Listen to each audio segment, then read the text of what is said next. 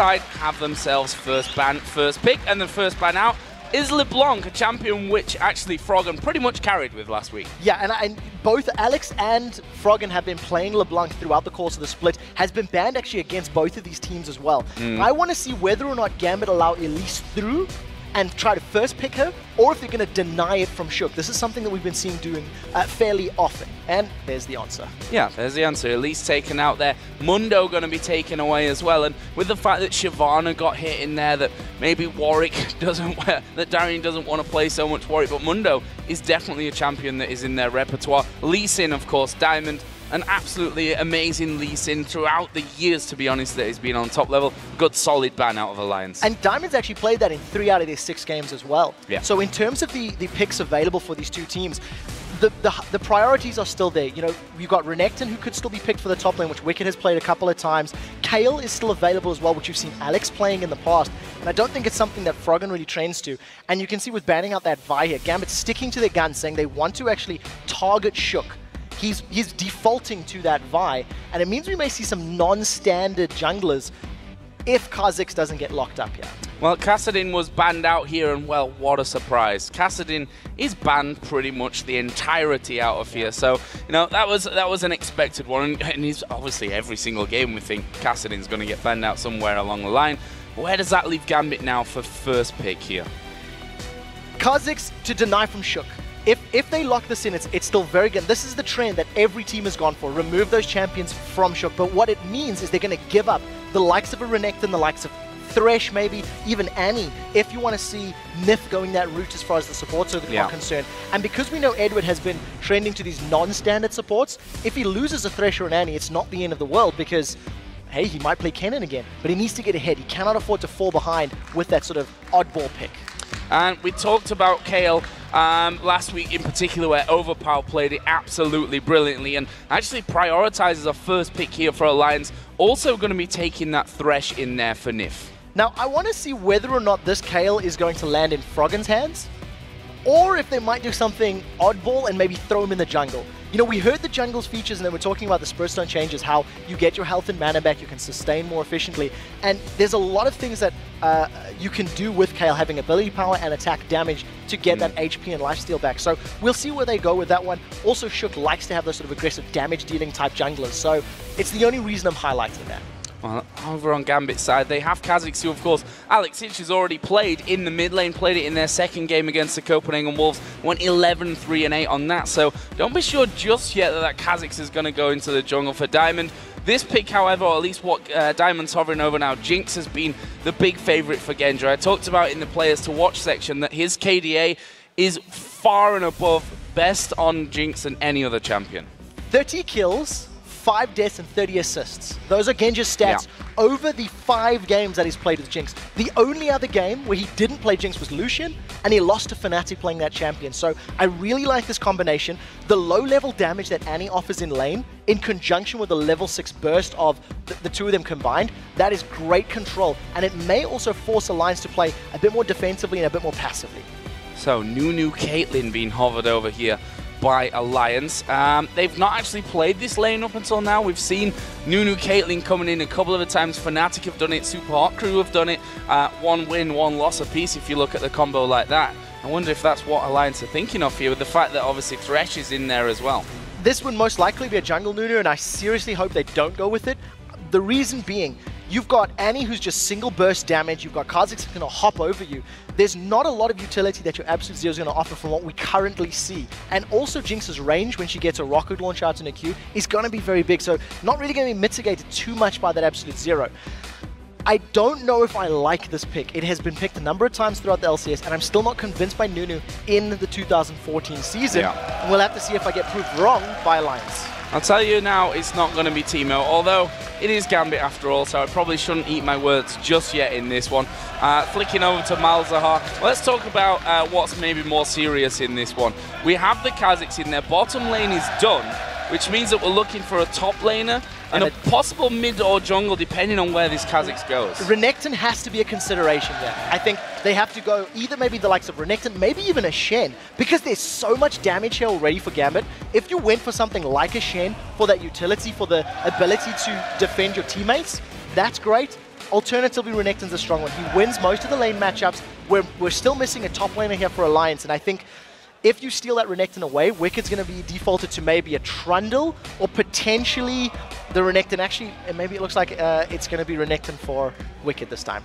Yeah, and as I was saying, Kha'Zix now looking like it will go into the lane. I mean, we've talked about Eve before, did have the hits, obviously, uh, different missile speed on the hate spike, and obviously her E now um, is with is physical, uh, physical damage. damage. and not magic damage. So interested to see how Evelynn does in this one. Trundle, of course, the troll for Darien probably couldn't be any better of a story. Definitely not. It's an interesting matchup though because leaving the Renekton open is a bad matchup for Trundle. Renekton should be able to beat Trundle in the early stages of the game, the opening minutes.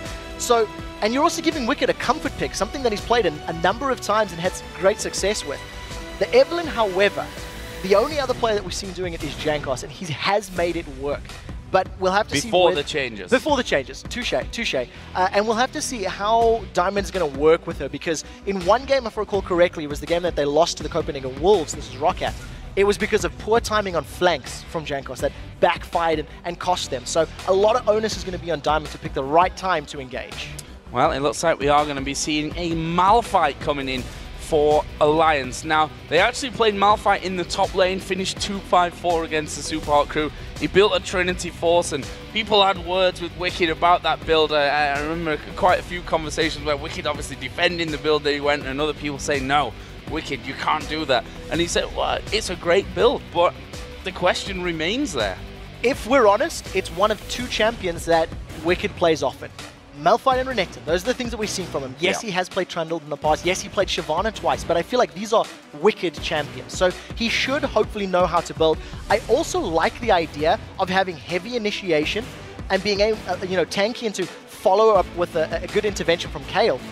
But in general, if Shook is out of position with that absolute zero and the unstoppable force doesn't hit, I don't see the rest of the composition working out as efficiently and comboing as nicely as Gambit's does. Well, we've seen uh, Thresh coming out there as well. Vander last week was so incredibly good with Thresh. Nyph, I think, got a little way to go to hit that kind of absurd MadLife style uh, level of hooks hitting, but you never quite know. And I don't want to be too overly harsh on Nyph, but the first time we did see him play Thresh was back in week one, and he was a little off his game. His flays weren't hitting the right targets, his death sentences were not connecting, as frequently as we've come to expect from Nyph. So we'll see if uh, a couple of weeks of practice and maybe settling his nerves is going to help him out in this game.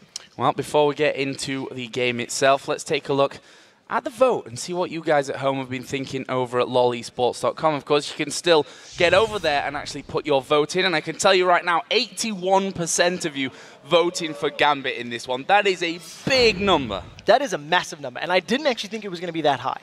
I think considering how much better Alliance looked last week. I would have expected that to be a little closer, but you know we'll have to see. No, not too many people believing in Alliance's newfound strength, as it were.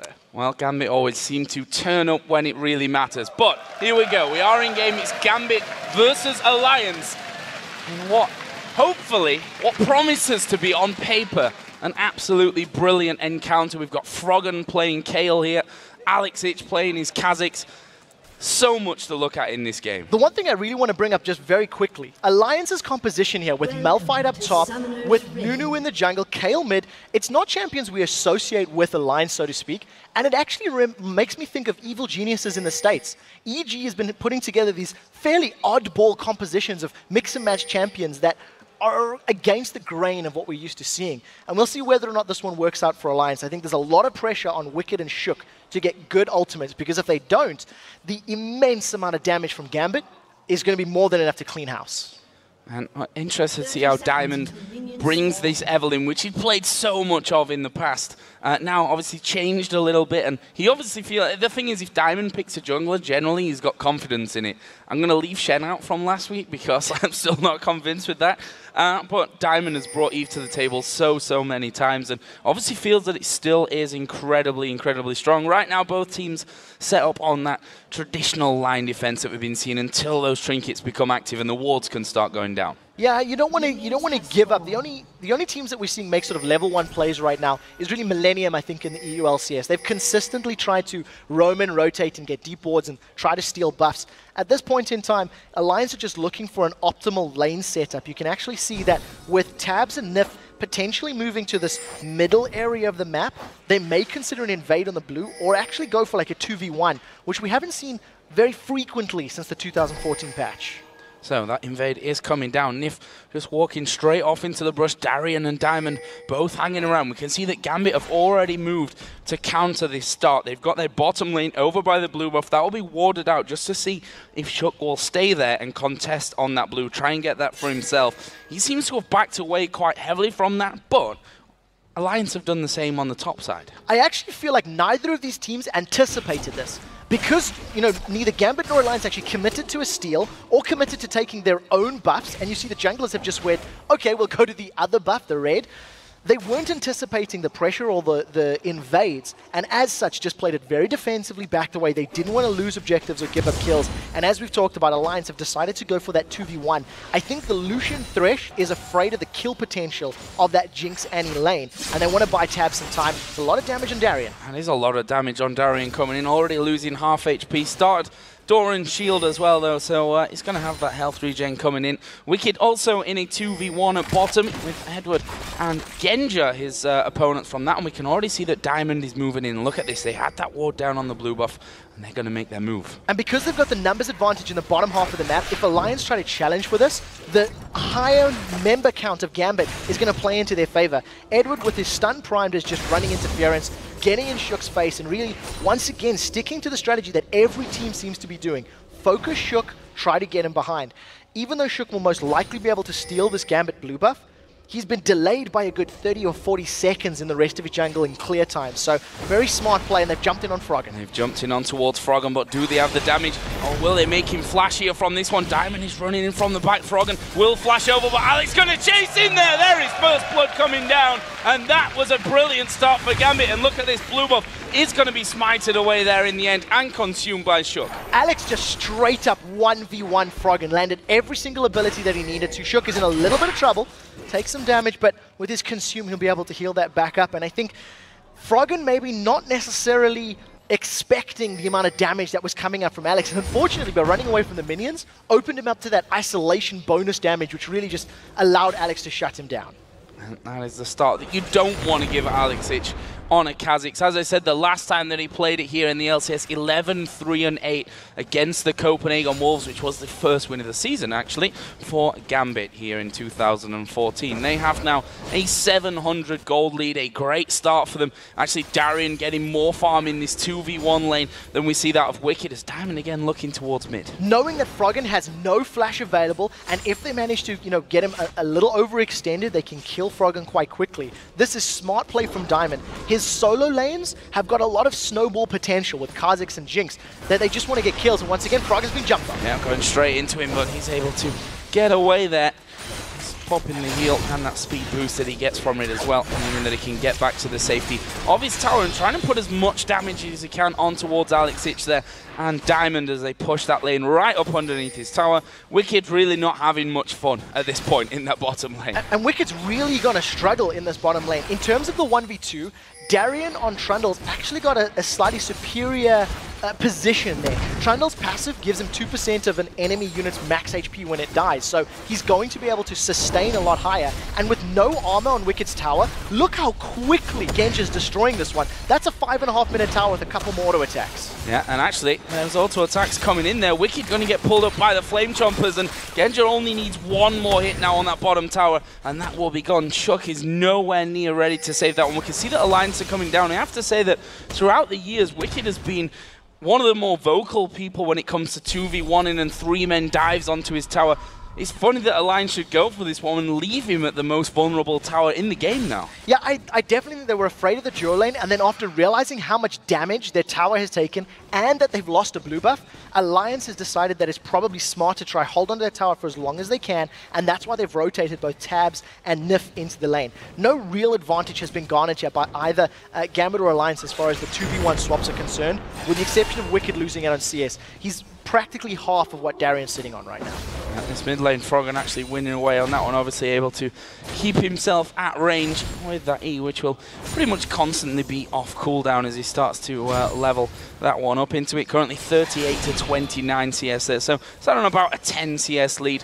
The AD carry is pretty much level at this point, which is not what we used to seeing from Genja. We talked about the statistics earlier that he's been at the 10 minute, the 20 minute, and overall the lowest CS in the game out of the AD carries. And I think part of the reason for that is because a lot of the enemy duo uh, duos have been shutting him down quite heavily. Here comes Darien. They're going to jump in on Frog, and he doesn't have his flash. Oh, this is bad news for him. There is a pillar coming in. Will use intervention on himself, but surely they're going to dive this one. And there is the kill. Wickd actually TP'd in, though. Darien forced to flash away. Alex Alexic taking turret damage, but here comes Diamond. Wickd has to flash away from that one, and that means he has to back away. Shook is coming in. Gambit have had enough here, though. Yeah, they got the kill, and they're going to be able to back away. They also got the teleport down out of Wickd, so if they decide to repeat that process again, no unstoppable force, no TP available, and a very good play from Gambit. They are focusing Froggen very, very heavily. That's the third gank from Diamondprox. This is the burst potential of this bottom lane.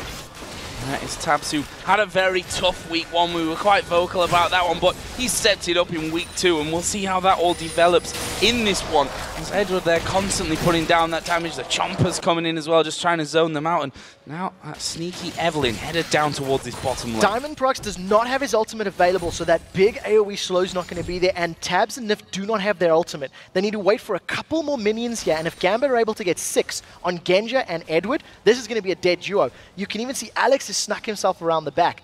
The moment that duo Q hit six, they wanted to go, and it just was a little too late. Not quite the coordination that Gambit were maybe hoping for, and that one Shook has hit level 6 there as well. He does his red buff, Diamond going to be doing the same. Interesting to see if we see any challenge for that blue buff this time around. The fact that we've now got duos facing off in the bottom lane makes me think that it's going to be safer this time around for Alliance. Yeah, it's very risky to invade right now, unless uh, Gambit pulls the help of both Diamond and Genja in to go for it it's not going to work up. And you see this, there's not really a lot of vision for either of these teams, actually. There's only one lone ward for Gambit in the river, and it's not giving them a whole lot of information. Nobody's made any moves for a very early Dragon just yet. And as I was talking about the Sixers, we see actually Edward is trailing a little bit behind that of Genja. He's got his uh, super mega death rocket available. Oh, and we know that earlier on Wicked did lose his flash. He had to use that in wow. the middle, and that's a great pillar behind the turret. Alex Ich dives in there. He is now 3-0-0, and we said it so often last year, you can't let Alex Ich have Kha'Zix, and he's showing again why. And this is a very smart pick. Because the Kha'Zix is great at roaming and Kayle somewhat less so, Gambit's playing to their composition strengths. Froggen and Shook trying to take advantage of knowing Alex was away. It's Dragon's going to go low. Diamond doesn't have his ultimate for a couple more seconds. He may try to get some exit frags here when he decides to engage. The rest of Gambit are on the way. Shook's going to die. Here we go. Diamond moving into this one. Shook is down. Dragon picked up by Gambit. Amazing play out of the Russians. There is Froggen being pulled back to safety by the Lantern, but Gambit again, a smash and grab raid onto that Dragon pit. They get the kill. They get the Dragon. Job done. Back off. If Alliance were going to pull that Dragon off, they needed Tabzz to be there sooner. They didn't have enough combined damage from Nunu and from Kayle. And yes, I think it was the smart call, realizing the mid laner was top, but they just simply didn't have the damage required to get him down quickly enough. Diamond hanging on the outskirts of vision range, and now they've gone in on Tabzz and. Oh, Tibbers going down, Tabzz falling very low. Of course, the Super Mega Death Rocket was already used in that last battle to secure Genja the kill, but they forced them out of lane, and this is going to mean that that CS lead that Genja has at this point could well be increased even further. Meanwhile, Alex is going back top. Yeah, Wickd's going to be in so much trouble. He can unstoppable away. Uh, he can, or he can go straight back in onto them. That's going to force Darien to take a lot of damage, but Alex able to pick up the kill, leaps himself out, 4-0 Alex Ich. Now I want to talk about Alex's roam because he spent more time out of lane than in it. Shook and Froggen are going to try take this tower down and Froggen not necessarily the strongest of roaming wow. mid laners. Shook's going to go down. Shook, oh. uh, intervention coming in, but Alex is actually coming around the side from this one. This could be so dangerous. There goes Alex diving in. He gets the slow onto Froggen, but can they follow through? The bottom lane not there. Unstoppable force, uh, not unstoppable force, absolute zero coming out. Diamond now hit. He's ticking away. Froggen picks up the kill and a move that we like to call the Empire used against the former Empire team. No Karthus for this one, and they didn't need it. The burst from Kayle was enough, and we did see Shook with the good positional play on that absolute zero. challenging over the wards as Edward kills uh, Nyphs and Nyphs kills Gambits. But I think the one thing I really want to touch on is just how little impact Froggen has had in the other lanes. He's building himself up a 20 CS lead. He does have a kill now, but he's not necessarily a roaming mid laner. This is something we've seen from Froggen uh, fairly often, actually, and I think this is smart play from Gambit, realizing that Alliance don't play that style of game. Gambit, two on one, they're going to get a lot of damage onto this tower. No intervention, of course, here. Darren just going to get to the back of that turret there and try and force them away from it, but with the pressure of Shook coming in. Blood Boil, of course, we can't ever underestimate. We talk always about the AD carries, but on Kayle as well, can be ridiculously strong. I actually think for Alliance, Blood Boil should go to Froggen's Kayle more than it should go to Tabzz' as Lucian, because Lucian doesn't necessarily scale off of attack speed. His passive gives him that double shot. He likes to build up a lot of attack damage and use his passive for that burst plus his abilities. If, however, Froggen can get all that splash from all that bonus attack speed, that's where Alliance can get a lot of their AoE damage from. Tower did fall in the bottom lane a little, a little while ago, and Genja and Edward are now just trying to shove Alliance back, trying to keep Tabzz and Nyph on the defensive as long as possible. Now let's have a look a little bit down the CS totals here. Mid lane still in favour of Froggen quite heavily with that Kaelin. Well, you probably expected the fact that Alex Ich has spent a lot of time up on that top side of the map, uh, of the map as well, really camping Wickd out. He's had not a fun time, I think we can safely call this one. In that 1v2 lane, being kept out of the CS constantly. When he finally goes into 1v1 in the top lane, he's already used his flash in middle as he TPs in and they just camp him twice, get the kills on him twice. And of course, he's playing a champion that doesn't necessarily pull himself back into the game. When you look at a Malphite who is unable to use his ultimate, you know, hit multiple people, and then continue being a presence in the team fight, you're effectively fighting a man down. So the, the, the decision making to camp Wickd, shut him down, realize no teleport available, no flash available, and then repeat gank. It's the same thing they did to Froggen in the mid lane. It's just Gambit not making the same mistakes they did against Roccat and playing a passive, reactive team comp. Gambit doesn't play to that style. They're good aggressive, they're good in your face, they're good at finding things to do. See there that Edward having a couple of problems actually with his mouse here, and he's got his bag, which I hope contains a spare mouse for his sake, uh, so that he can get a new one plugged into. This one looks like he's actually undoing his mouse right now, and well, that one can maybe go in the bin. New one going to get plugged in, and Edward can get back underway. Currently 0-0-1 on this Annie with Genja, who's on 1-0-0. They're ahead in CS, albeit by four, but they're doing a great job in this lane. We talked about how key this bottom lane was to them in this game, that they played it safe, that they've given up that first blood in half of the games up until now. Yeah, and I think that there's two things I quickly want to talk on, just in terms of some of the items that we're actually seeing. Trundle up top, being played by Darren. he's gone for the uh, the the Tiamat build, you know, working his way towards Ravenous Hydra. That's actually not what we've seen other Trundles do. A lot of other Trundles work towards Blade of the Ruined King first, and I quite like that because the extra splash damage with his a lot of attack speed from his W is going to give you very good split pushing and wave clear, which I really like. And something that I had a discussion with Deficio about seeing if we're going to see Eve in the jungle, which spirit item is somebody going to go for? And Diamond has gone for Spirit of the Elder Lizard. Yeah. He's gone for the attack damage item, which was not what we were expecting. We were anticipating still to go the Spectral Wraith, still go like Spectral Wraith, DFG, Sorc Shoes. And he's actually going for an AD-centric item. So when we get back into the game and we start looking at how this game progresses, I definitely want to see how uh, Diamond in particular itemizes this new 2014 Evelynn, because he's basically the de facto Eve player. Yeah, he is an innovator in the jungle, so if anyone's going to change up a build and make it successful, well, you'd probably imagine that it was going to be Diamond. But we are going to get back into game here then, as it seems like Edward's mouse is now uh, fixed or replaced, as the case was there, and he'll be feeling a lot more comfortable. And he's moving around the map there, so we can see that everything seems to be okay. And a second tier map being picked up here for Alex Ich as well. Yeah, you know, the, the Kha'Zix is going Ravenous Hydra as well as also something that has been a little bit more standard these days. Wickd just taking so much poke from Darien, chomping him away. And if you look at the item difference with the Tiamat and the, the Merc Treads, he's facing off against Just a Sheen. Wickd's going for a Triforce Malphite once again. I'm not sure if this is the smart choice. Well, I said it in the pregame, didn't I? That Wickd yep. defended wholeheartedly his decision to go Trinity Force Malphite. Didn't work out for them last time, and up until now at least, I'm not going to call this one over by any stretch of the imagination.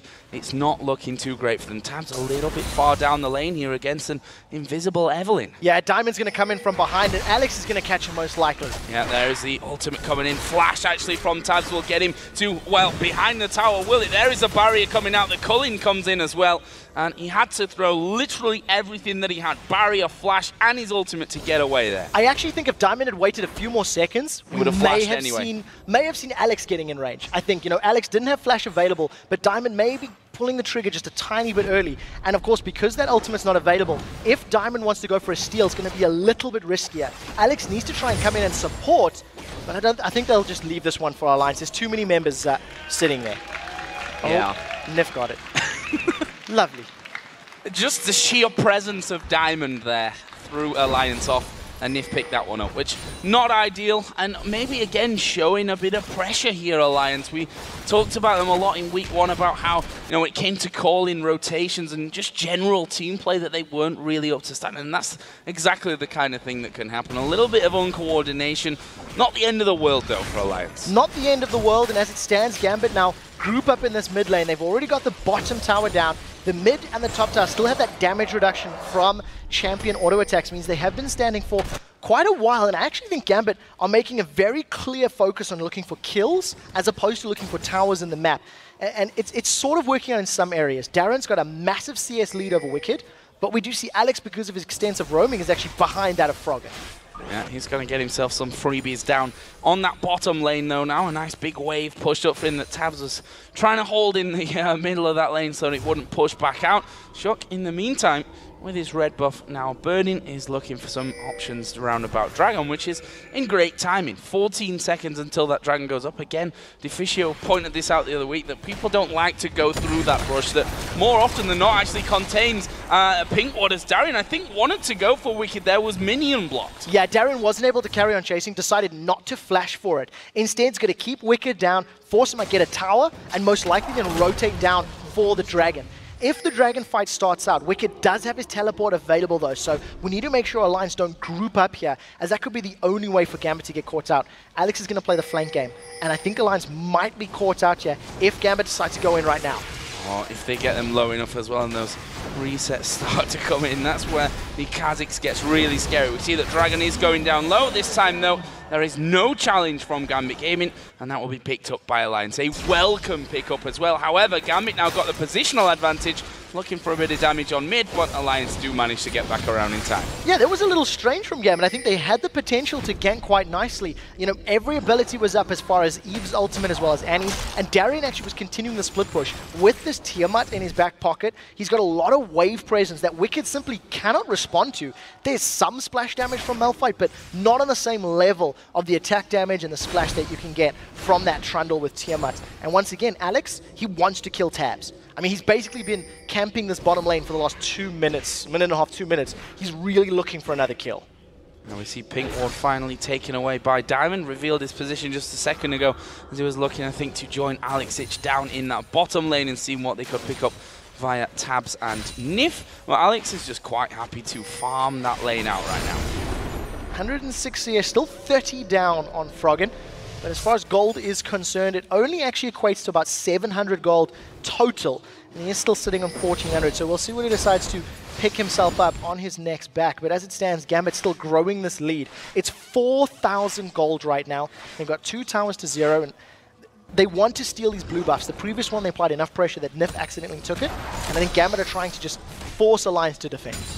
See there in the top lane, Darien is having a field day against Wickd right now. Got that Ravenous Hydra finish. You see that how low the turret is at this point. Wickd just cannot compete with him. No, there's nothing that he can do. And of course, Darren, every time Wickd wants to try and fight, Darien's going to sap his attack damage, and if he goes in with his ultimate, going to steal his defensive statistics as well. So Wicked is really never going to win. They catch Shook. Oh, they catch Shook, but he doesn't stand on the Flame Chompers. Meanwhile, in the top lane, we actually see Darien being chased down, but can they lock him up? There's a flash away. His ultimate helping to keep him healthy there, and he goes straight down into middle, where it looks like the tower's going to be taken down. There was an absolute zero, which didn't really do a whole lot to stop this turret pressure, and that will be the, uh, the third of the game being picked up here for Gambit. Yeah, Darien's still sticking around, he probably needs to back away. If Gambit had stuck there, maybe Froggen could have got in for another kill, but no unstoppable force. It was used in that top lane trade where Alliance were able to at least push Darien away, slow him down a little bit, but now Gambit have got all three outer towers, and they're definitely playing a split push game. They want to now get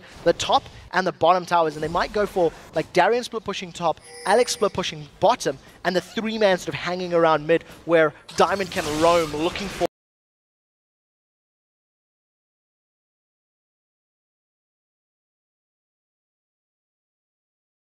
know what, Diamond, I don't really need that one right now. You keep hold of it, get on your jungle path. He's about to hit 100 minions to the 67 of Shook as well.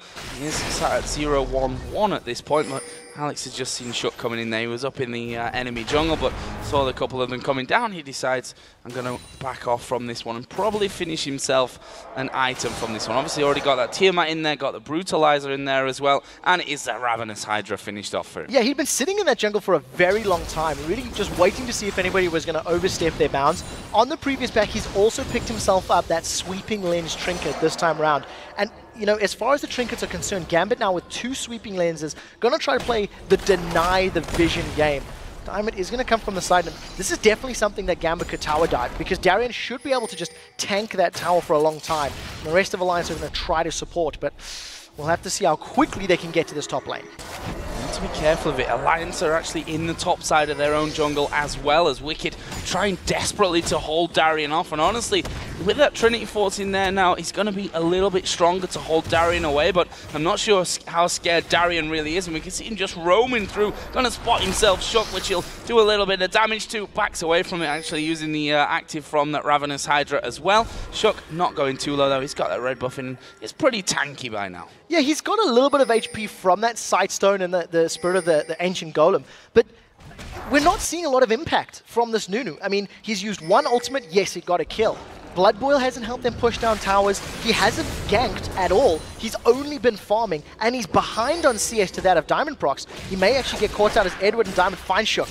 I'm not sure if Diamond got the damage for this one. He's going to force Shook away. And oh, there was the Super Mega Death Rocket actually being thrown out by Genja. A little bit ambitious there, but we could see shortly that top turret was finally finished off by Darien. He's just been beastly this match so far. And just to continue talking about the Nunu, was finally Alex finds Tabzz. And but again, forced away underneath the turret, maybe a little bit too far in from that one. Meanwhile, we are going to see Nyph going low here. Ignite was down. They finally killed off Darien in the top lane. He's drawn three of them out, though, and this is typical Gambit style. Let Darien bait them into killing him, and then take objectives elsewhere on the map. Definitely worth it. Trading your top laner for an inner turret that you can then rotate around, get better control on blue and better control on dragon. I think that is a great call from Gambit. And you know, what does Nunu offer in a tower defense situation? He's got no wave clear. He's got little CC that's hard. Yes, he can run forward and then absolute zero, but if your enemy is already 6,000 gold ahead and can insta-give you, it's not a lot. Froggen forced to use that uh, uh, intervention just to save his own life. And I, am just wondering to myself, the only way for, Gam for Alliance to get back in this is to have better vision and to basically catch Gambit off guard. They need to initiate with the Kayle and Malphite combination, find kills, and push Gambit out of their half of the map. Because Gambit's basically been living there for the last five minutes.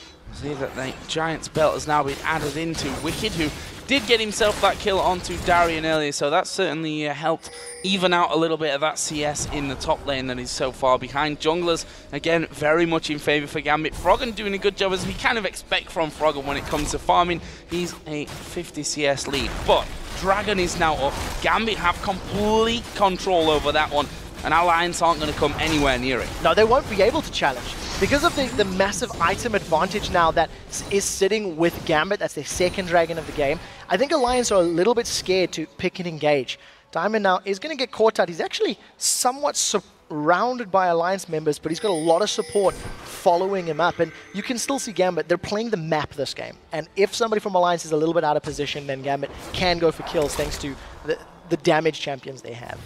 And they've got that pink ward on Baron. They start to close in a little bit towards this top lane, and Diamond going to reveal himself. Are they going to push through from this one? Darien was a little bit further behind. Edward actually watching off to the side by the Tribush to see if he could get Tibbers down onto the head of someone, but Alliance, I think, wisely backing away from this. Not going to get into any kind of fight when they are. Six and a half thousand gold behind now, and we're only 23 minutes in. And you know what I think is very scary for Alliance? Is they need to keep a second eye on Baron at all times the amount of damage that Gambit's composition has, they can shred through Baron very, very, very quickly. With Kha'Zix's isolation and all the free attack speed stats that Darien's going to get with Trundle and, of course, Jinx, if they focused on Baron super early, it's definitely going to be able to, you know, solidify this massive lead. And you can already see Diamondprox going with another interesting build. A Bilgewater Cutlass picked up, so he's definitely going for that more attack damage sort of right-click build on Evan very interesting to see how that one keeps developing. Alex actually despite that early start to things where he, you know, had really been able to catch people out, obviously he's transitioned more into that split push heavily on this bottom lane right now, not being able to pick up kills in the last couple of minutes, but that may all change because we've got Diamond coming in from the side. There is a dive in, unstoppable force used by Wickd, flash used by him as well, and that will be a uh, Gambit probably laughing with happiness from that one. Unstoppable force, flash down, that means that the the hugest part, maybe almost the only part of initiation for Alliance is now gone. Yeah, with the exception of a death sentence, there's nothing else Alliance can do to surprise Gambit now. And you know, just going back to some of these item builds, if you look at the bottom half of the map, you've got Genja with a fully completed, fully stacked Bloodthirster, the makings of a static Shiv, Oh, Shook was very brave to throw that ice ball out. And a BF sword. In comparison to just the Phage Sheen and Bloodthirster, Tabzz is quite a far way behind in terms of just outright damage. And it's going to be very difficult for him to make a meaningful impact when he's got so many damage sources that can chase him down. No, with five towers down here for Gambit, obviously it's the only uh, the only inner turret that remains is in that middle lane. That's something that Alliance need to hold on to at all costs here because once that one goes down, they've got nothing left outside of the base. It means that they are far less safe to go anywhere near their own jungle, which you can see they're, they're making sure that they're grouped up while they do that one right now. Nyph actually moving into the backside of he the Baron. Yeah, he may get caught out. Darien coming in. Edward off to the side as well. And there was the scan coming down, not revealing any wards though, sadly enough, uh, for Gambit there. That was Edward just using his alliance grouped up as five well, they know that without vision, they're always in danger. Yeah, and knowing the strength of Gambit now, we talked about the Baron that they could do and the fact they can kill it very quickly. They can now start playing the baiting game. Deny the visions with the sweeping lenses, catch anybody that you can, and try to secure kills that would lead to the objective. Diamond with those boots of mobility. And his W able to put down a lot of damage and be extremely fast to run away and basically control entire areas of the Alliance jungle. Alex Ich going back to a single lane on his own and pushing that one out while Froggen here putting down some good damage towards Darien. I think they were edging forward to maybe have a go. Unstoppable Force is now off cooldown. That means that they can fight again, albeit it's still very risky. And that's not the target you want to hit. Even if you get a lot of burst down onto Trundle, he can throw down his W, use the ultimate subject and regenerate a lot of HP back. Now that Gambit have got a position on this Baron, they've got a Ring of Vision, and the rest of their team is running interference. They're relying on the single target damage of Kha'Zix and Eve, and Diamond's running low, but I think he should be able to get this before Alliance can get in range. Look at Edward's position there, basically saying, my stun's ready, I've got Tibbers off, uh, on, on, on, off cooldown and ready to go, and that's a two-man Baron so expertly done. The control phenomenal from Gambit. Gambit didn't even need their whole team because of how far ahead and, and, the way they've built their champions is just working in their favor. Now they can start sieging. I think Jinx is a very good siege champion. She's got a long range with her, her rocket on the switcheroo on her Q. She can sit fairly safely back. And if anybody starts to initiate, Pillar's going to throw up his, it, Trundle's going to throw up his Pillar of Ice. You're going to put Flame Chompers down, and Alliance cannot get over that as a team. Alex and Froggen are about to duel 1v1. Froggen started. Yeah, there is a slow coming down. Alex Ich actually popping his ultimate, and there is half of Froggen's health gone. He will use the intervention. Alex Ich going to jump back in into the absolute zero. A little bit too cocky there, Alex. I don't think he expected the damage that they were able to put back. He thought that he was able to finish off Froggen. Not the case, I'm sadly afraid. And that was definitely the combination of that Blood Boil as well as Kayle with her Righteous Fury just slamming down all of those auto attacks. It allows Alliance to pick up their third kill of the game, potentially this tower, but Darien is going to interrupt it. He's not going to let them have it. He's actually defended fairly effectively. He started a fight now. Oh, and there goes Tibbers down. Flash Tibbers, in fact, and that is a dead Froggen. What a way to turn that one around. Losing their mid laner, almost losing the turret and reacting so quickly that they're able to stop that happening and pick up the kill on Froggen. And so importantly, it was within 30 seconds of Dragon respawning. So now Gambit can group up around the Dragon Pit, potentially go for the objective, or maybe even try to set up like a death bush, as it were. You can see Tabzz, he's just going to dash over the wall with that Relentless Pursuit. And Gambit actually, they've decided they, they're even hungrier. They want the tower instead of the Dragon. Well, Wickd has finally got rid of that tower in the top lane. That is the first of this entire game for Alliance. There's Culling used by Tabzz just to make sure that wave in mid is cleared, but Diamond has just gone back tough, soloed the Dragon, and that turret is already down to half HP. The definite target here for Gambit and the one that Alliance are looking to hold on to at all costs. I absolutely love the Blade of the Ruined King that's been picked up by Diamondprox. Not only have you got these unique forms of CC from everyone except Annie, Flame Chompers, the Pillar, you know, there's a slow on Kha'Zix. You've now got the slow from Eve's ultimate, as well as the slow that she can get from Blade of the Ruined King, allowing her to duel and split push, and once again, control the tempo of the map. The rest of Gambit are still sitting in the middle lane, but I think until Diamond gets there, I don't really expect them to start a 4v5. They're ahead, but I don't think they can play that bravely and get away with it. And they can expect Diamond to be hanging around there. Pretty obvious stuff. As you see Alex Ich move away, this is just textbook split push right there. And he just walks straight in. Darien quite happy to tank it up. And that is that final inner turret of the game going down. Only the base of Alliance now remains it is a little easier to defend. So the absolute zero from Nunu becomes a lot more powerful in these tight chokeholds. But once again, Alliance need Gambit to jump on them, then respond with the unstoppable force and the absolute zero. They have caught Darien just a little bit, but they're not going to engage because look at how many members of Gambit can flank. So I, I, think that was a wise call from Gambit to walk away, and Darien just lifesteals off half a minion wave. Easy peasy. Alex going back for the white as well. He's got that blue buff on here as we now have a 10,000 gold lead in, in place for Gambit. And then pushing the waves up here. That bottom lane is finally starting to push out. Top is actually nicely pushed out as well, but Gambit moving in. Yeah, Gambit were able to push Alliance up through the north to go for the top tower. And there's the tower, the fight! Unstoppable force to the backside of them. And actually good damage coming onto Edward here, but the rest of Alliance taking a lot as well. Intervention comes on towards Wickd, but that is a lot of damage. Shook is super low. He flashes away. The zap not hitting.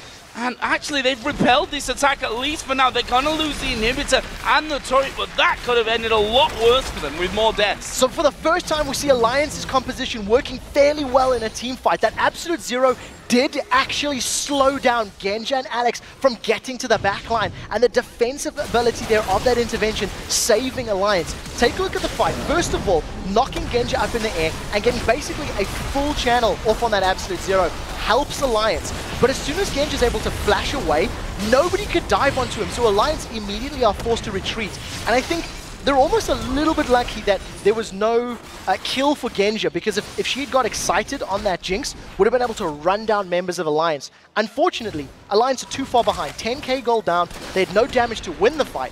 They simply held even and were able to retreat.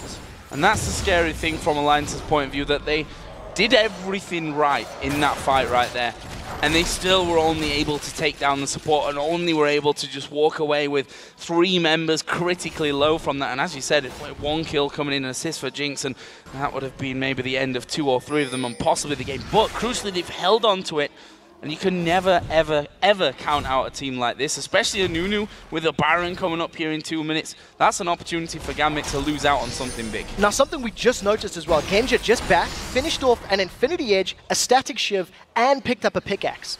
I quickly looked at his gold. He was around, oh, Tabzz is in trouble. Alex, oh, actually wisely, realizes Froggen's there and backs away.